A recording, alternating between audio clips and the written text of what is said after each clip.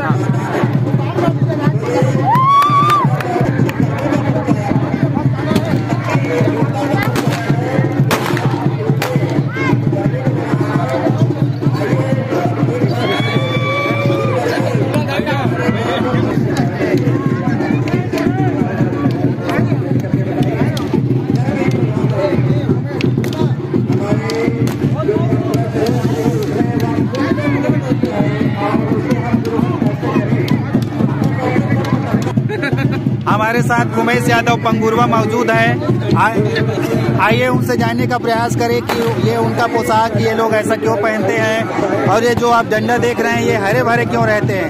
तो हाँ यादव जी, पंगुरवा जी, आप बताइए कि हमेशा आपका जो डंडा रहता है, उसमें तरह तरह के फूल क्यों होते हैं? आप साधारण डंडा लेके भी चल सकते हैं। ये जो है ना यादव यादव समाज के निशानी है। ठीक है? जो पोशाक है ना, यादव जाति का है, जो राउत का है, वो जो ऐसा हर साल पहनना पड़ता है। क्या यादव जी, ये पोशाक आप शादी, ब्याह, या कोई अन्य कार्यक्रम सच्ची वगैरह भी पहनते हैं? जी, पहन सकते हैं बट ना ये डंडा है ना, जो त्योहार है उसी कारण इस डंडे को पकड़ते हैं, और शादी विवाह का मामला है, उसमें तो ये तो सब नॉर्मल बात है तो आप पहन ही सकते हैं। ठीक है, ये थे यादव जी पंगुरवा धन्यवाद यादव जी।